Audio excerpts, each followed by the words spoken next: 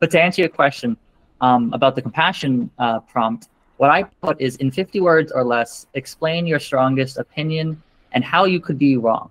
Oh, that's We want to interesting. Yeah, we want to see if you can contemplate the opposite perspective. So the reason I added this question was because I really like that. um, yeah, yeah, because so in my opinion, psychologically, it's very difficult for people to talk about something in the contrapositive in something that they absolutely discussed. So, for example, um, well, my strongest opinion is, you know, I'm a Christian, I love God.